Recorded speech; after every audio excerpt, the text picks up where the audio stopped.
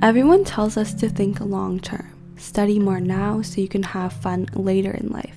Save all your money now so you can invest it and be financially free when you retire. Struggle now so you don't have to struggle later.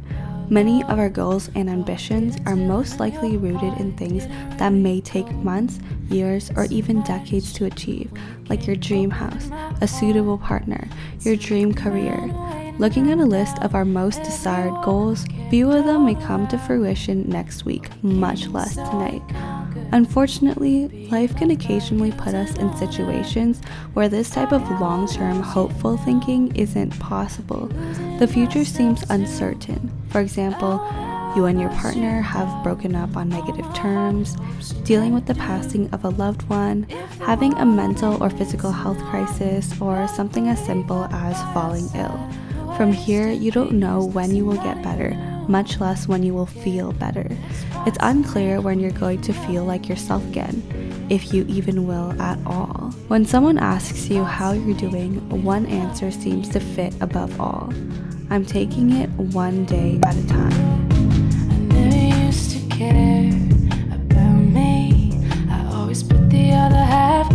You showed me that ain't fair. That's why I always felt the hurt.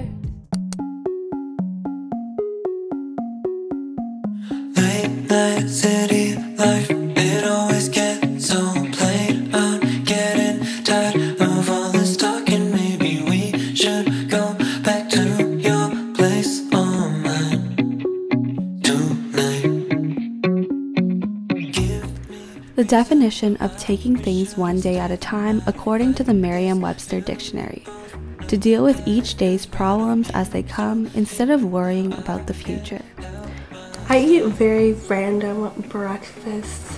I honestly just eat whatever I feel like it. Um, so I'm having these donut peaches and then after some naan bread and then this weird kind of salad thing with um, bell peppers, feta, and like shrimp. Questionable, but I promise it tastes good.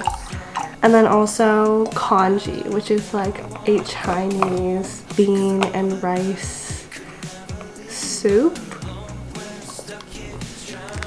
Okay, now I'm gonna do some planning and some journaling for the week since it's Monday.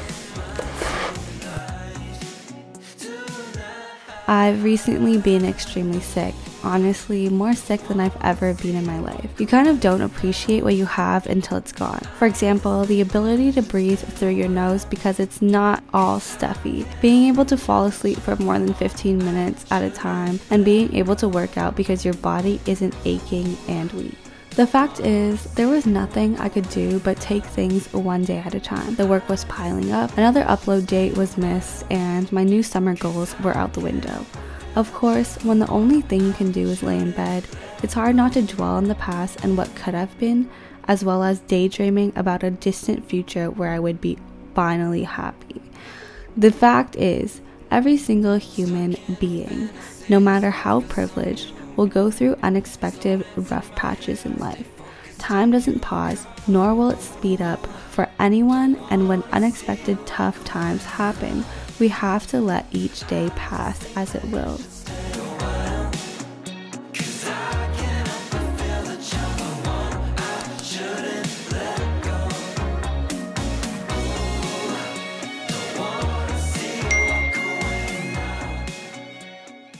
Thank you so much to Pair Eyewear for sponsoring today's video. Not only do they offer prescription, non-prescription, and blue light glasses, which is the one that I got, they also have what's called top frames where you can completely change the look of your glasses. I've honestly never seen glasses where you can change like this and I like it because glasses can be expensive and it can also be a huge part of your outfit and your look and your accessories. So being able to change the top frame like this is super easy and affordable. The base pair is only $60 for prescription glasses and then each of the top frames are only $25. So not only do they have different different colors of top frames, but they also have sunglasses version. Also, they have multiple different styles, not only this style, which is the Casper, but I think this one's super cute. There's over 650 top frame options, and they have free shipping to the US and Canada. You can return it within 30 days with no questions asked in order for you to try it out and find your perfect pair. If you're interested in pair eyewear, you can click the link in the description for 15% off your first order. Thank you so much to Pair and my new glasses for sponsoring today's video. chest too fast, but I really wanna make the conversation last. So I'll start off slow with something really simple like hey.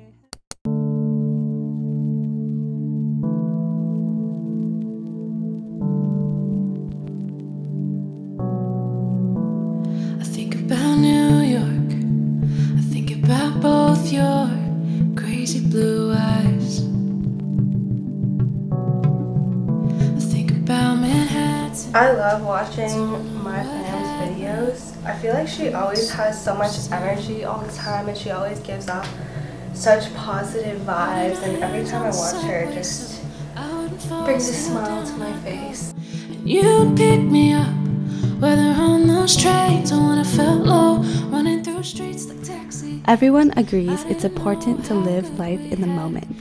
But the problem is how, says Ellen Langer, a psychologist at Harvard and the author of Mindfulness. When people are not in the moment, they're not there to know that they're not there. It actually takes practice and intentionality to break the habit of ruminating on the past and obsessing about the future.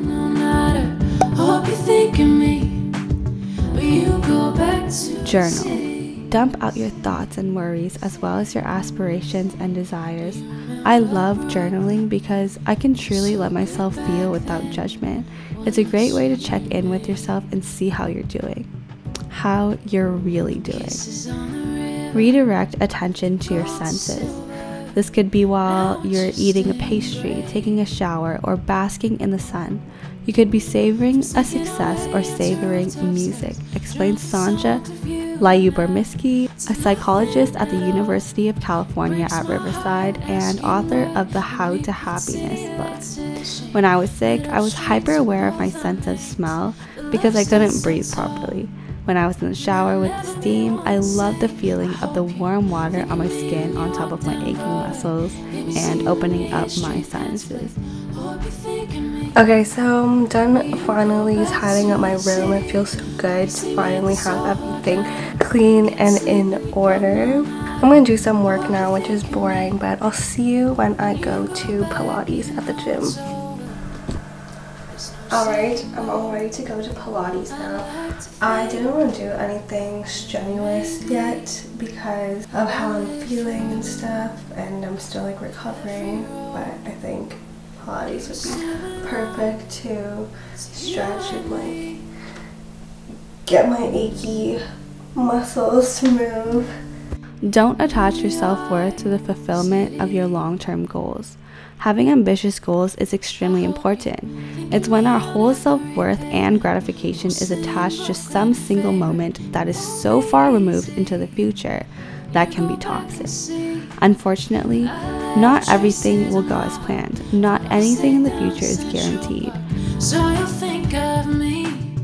Will you go back to It's a lot later um, after I went to Pilates. I just came home and ate dinner, and then afterwards, I went to Walmart to pick up some like hair gel so I could get that clean girl aesthetic look.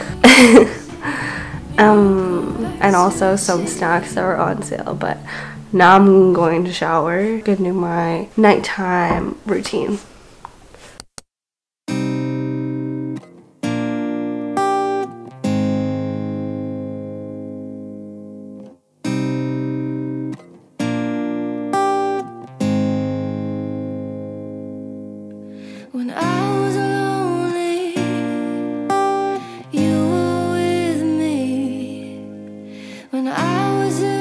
We know where we want to be next year and in five years and in 10 years, but we focus our attention on today.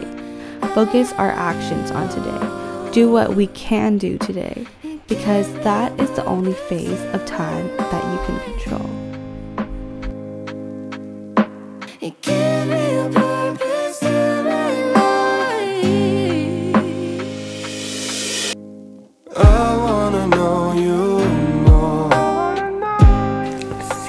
Guys next video. Good night. Bye. I keep you waiting, always complaining, always complaining. But I feel so complacent, never repay or pay